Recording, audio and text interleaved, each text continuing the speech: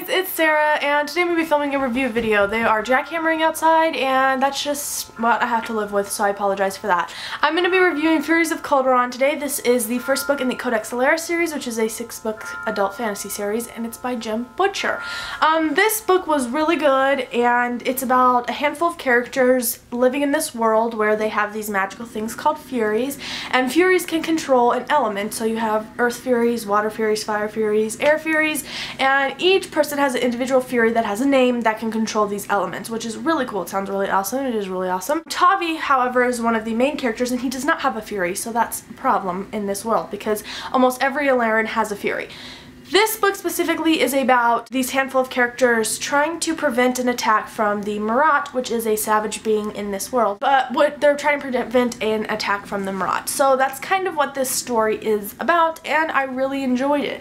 I ended up giving this book a 4.5 stars or a 5 out of 5 stars on Goodreads. Reasons why, the reason why I didn't give it a 4 out of 5 stars and then just bump it up to a 4.5 was because I enjoyed it so much that I wanted to give it a 5 out of 5 stars, but there are some little things that I just prevented me from doing that. Mostly because it's the first book in a series and it has that first book in the series syndrome, but it was still very enjoyable. This book was super fast paced. There was not a moment where we were sat down and talked to. There was not a moment where the characters weren't doing something. It was always going, going, going, going, and I enjoyed that pace. did get it did take me a while to read it, which sounds odd because it was so fast moving, but I think it was because I read so much so quickly that I felt like I had to take a break and just relax and just wait it out. So I did read a little slow, but it is 600 pages, so I don't know, I think it balances out. Yeah, I enjoyed this story a lot. The world building in the story was not existent wasn't very existent. We didn't learn about a lot of oh my god, I can't talk. We didn't learn a lot about the world.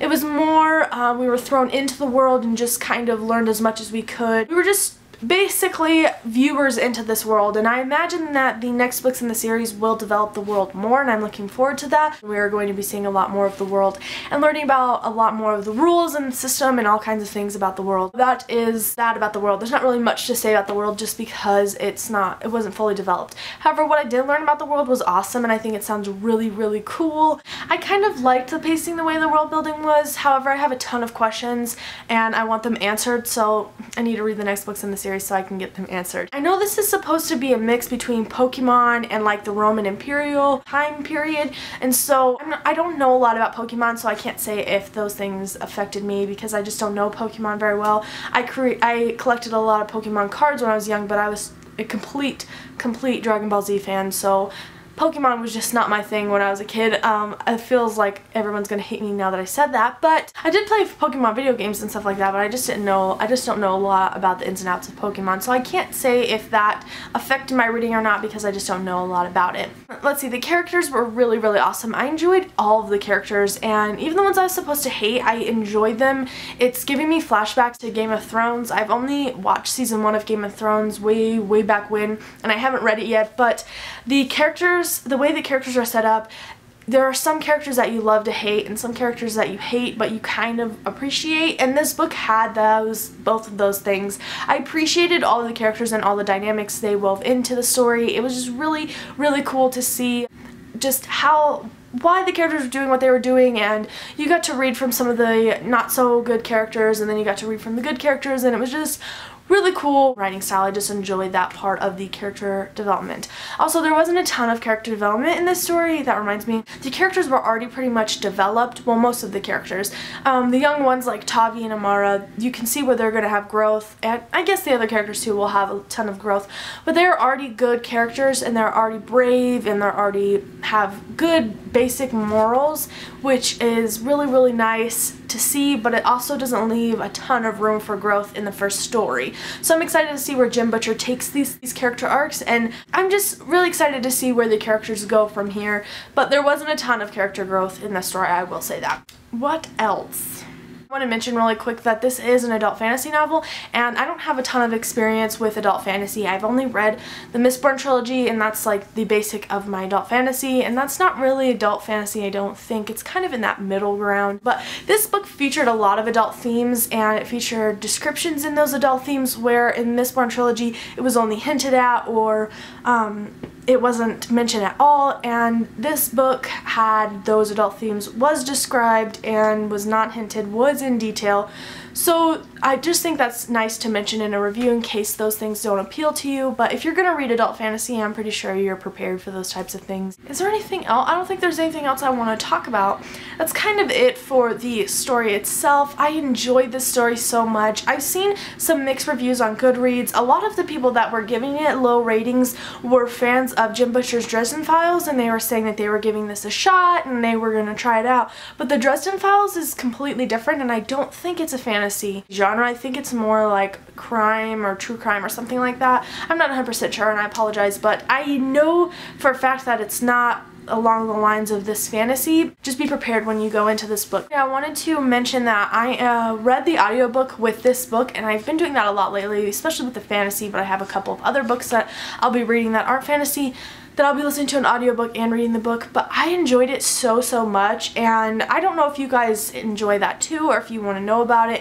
If you do want to know more about my audiobooks and how I felt about an audiobook, let me know down below, and I will add it in the end of my reviews, so that way people can enjoy that review of the audiobook as well as the review of the actual book, or the story itself. I mean, not the actual book, but you know what I'm saying? But basically, what I wanted to say is that this book was narrated by Kate Reading and Reading, not reading, um, it's spelled reading, but it's Reading and she reads some of Brandon Sanderson's books and she is such a great narrator. She has so many voices that she can make up and there's just, I just love the way that she tells the story. I think it's really awesome. They're just so good. I'm just enjoying the audiobook so much because it helps a lot with like the pronunciation of um, places and names and it helps get a picture in my head and I can read it while I'm in the shower, getting ready, about to take a nap, working out. I can read it as well as do other things. I'm in the car.